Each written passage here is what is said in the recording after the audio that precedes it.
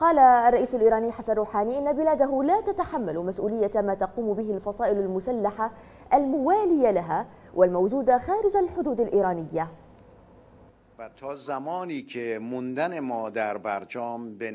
إذا وقعت حادثة في العراق أو في مكان آخر ما الذي يربطها بإيران؟